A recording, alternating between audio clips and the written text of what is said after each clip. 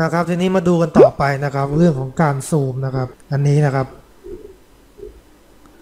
ปุ่มนี้เลยครับซูม